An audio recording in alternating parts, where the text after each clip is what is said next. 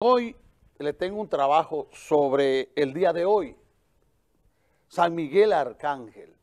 Pero antes, yo le vengo diciendo a ustedes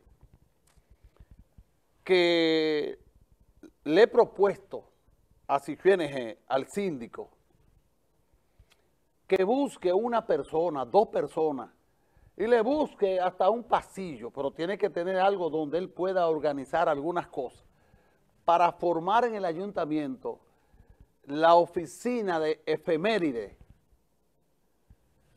acompañado con el libro mío, Los Nombres de las Calles, de forma tal que esa persona va a tener en su computadora cuáles son las calles que cumplen año hoy. Entonces ponerle una banderita, porque si nosotros perdemos la cultura, estamos perdiendo nuestra propia identificación y hasta nuestra naturaleza de ser dominicano, y por qué no decirlo, nuestra oportunidad de ser feliz viviendo aquí.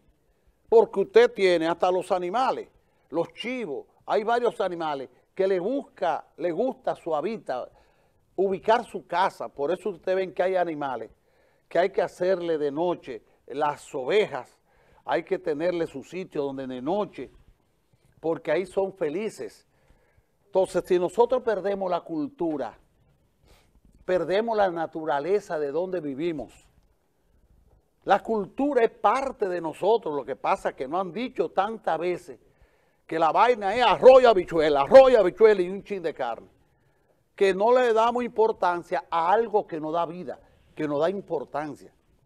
¿Por qué agarran gente presa bebiendo? Porque es parte de la vida el querer estar alegre, el querer darse un viajecito.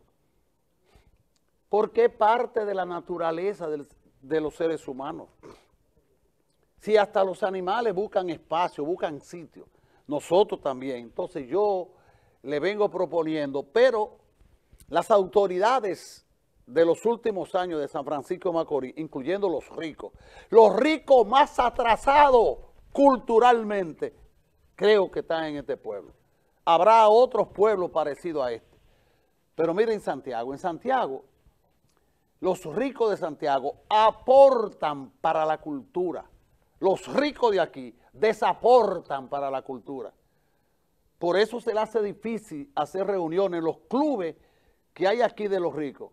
Se le hace difícil que la gente vaya, ah, porque se descuidan de la parte cultural.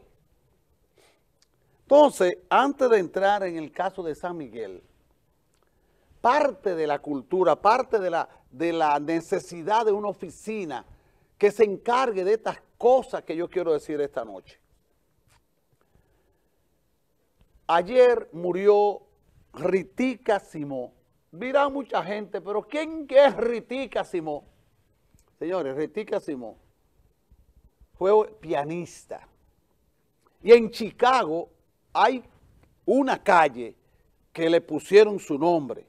Ritica Simó, porque en Chicago formó ella lo que no pudo hacer aquí porque se fue en época de Trujillo, lo hizo entonces en Chicago, el Instituto Musical. Por eso yo quiero que eh, Ricard, mi amigo Ricard,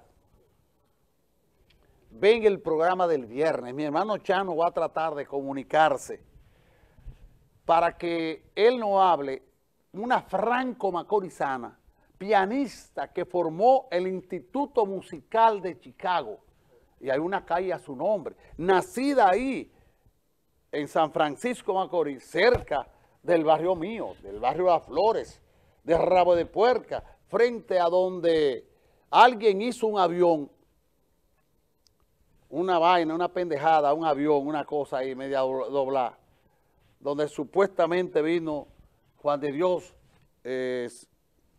hay un avión que hay ahí, quitaron toda la sombra para poner el avión. Ahí nació Ritica Simó y murió antes de ayer, de unos ochenta y pico de años, en Estados Unidos, en Chicago. Y los mascorizanos debemos de valorizar, de estar atentos. Y que esa oficina que yo le planteé a Siquio, pero que llevé la carta hace como dos meses y tampoco la ha leído, porque maldito chino no le importa el carajo, la cultura tampoco, sino ser síndico. Y cuando vea que ser síndico no le gusta mucho, se va para la capital cuando le den el chance de ser ministro de una vaina y le deje esa pendejada a otra gente. Eso es San Francisco, estamos jodidos culturalmente, no tenemos autoridades con inquietudes, ni los ricos de aquí. Porque ustedes ven que en Santiago están el León Jiménez con un centro así mismo llamado Centro León Jiménez, donde hacen presentaciones, hacen excursiones, pero los ricos de aquí son una vaina, una rumba así de, de eso mismo.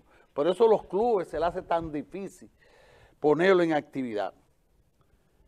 Pues murió Ritica Simó en Chicago, pianista franco-macorizano de alta calidad musical y hay una calle en su nombre en Chicago.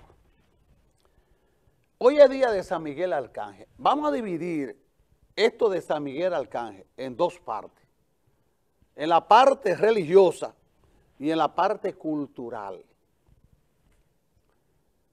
En la medida que las tradiciones se pierden, yo no soy muy, muy hombre de santo. Yo soy un hombre de Dios y de Cristo, de lo que la Biblia habla. Pero todos esos santos, San Rafael, eh, San Gabriel, eh, San, San Miguel, yo no soy muy dado, los respeto, pero hay cosas culturales que han traído esos santos que se están perdiendo. Por ejemplo, un día como hoy, día de San Miguel Arcángel, en mi familia, nuestra mamá nos enseñó que se colgaban dos piedras en el, en el alambre donde se tendía la ropa para agarrarle los testículos al diablo para que el diablo no pudiera salir afuera porque era el día de San Ángel Arcángel y no estaba trabajando. Oigan, bonito la historia, o sea, parte de la historia, o sea, preciosa. Además, ese día, si se lavaba, que de antes se lavaba echándole azulito y, y viendo la ropa, la hervían, y en esas piedras que quedaban calientes, el muchacho que se orinaba, lo ponían a hacer pipí en esa piedra caliente para que el vapor le quitara el problema de hacerse pipí en la cama, que psicológicamente se llama enuresis nocturna. Yo sufrí mucho porque yo me meaba grande ya. Yo creo que hasta en estos días dejé de mear. Pero ya era grande. Entonces a mí, me, día de San Miguel, me sacaban la piedra de esa, de la candela, yo hacía pipí, y no sé realmente cómo no me lo quemaron, porque en verdad fue tanta la veces que me pusieron a hacer pipí en esa piedra el, el día de San Miguel Arcángel.